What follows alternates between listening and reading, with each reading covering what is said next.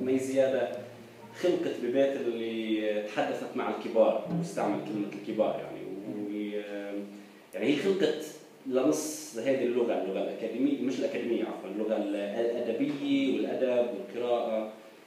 فانه هذا ظرف المفروض يعني الملاحظة كثير مهمة المفروض ناخذ بعين الاعتبار كيف اللي بعد شوي ممكن نسأل أسئلة حواليه كيف ممكن ليش تسلط ضوء عليها لفترة معينة. مش تسلط يعني نحن القصة تبعتها كلها عشان ما تسلطش ضوء عليها. بس ليش حظيت بنوع من آه، فرص معينة اللي كانت معدومة أو مسلوبة للنساء ورجال غيرها يعني من قبل أو فالسؤال سؤال الظروف هذا سؤال كثير منيح يعني.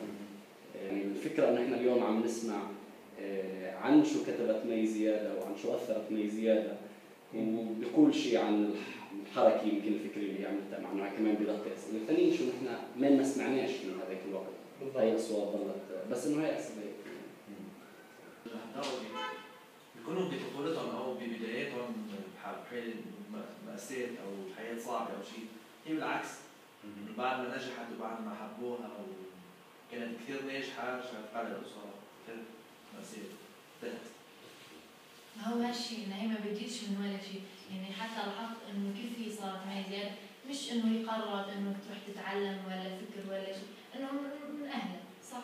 فجأة ان هي زي متطرفة جدا يعني هي ما كانش من ناحية هي الاعتدال بين الجنس بين الذكر يعني بين الجنس بين الذكر والانثى كان جدا متعصبة وجدا متطرفة يعني ما بحسش كأنها هي مثال للنسوية أو مثال للامرأة العالم العربي.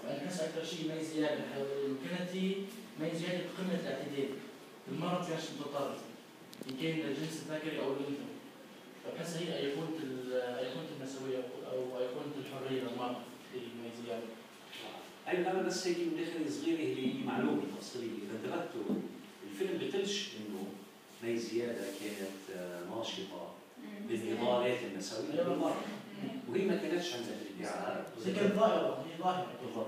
وإذا انتبهتوا هي عاصرت هدى شعراوي التقت فيها الجامعة وتعرفت عليها. هدى شعراوي كانت ناشطة بالمجتمع إنه عم بتناضل مشان عدم تزويج الفتيات بعمر صغير. يعني هون النضال مشكلة من النضالات النسوية الواضحة.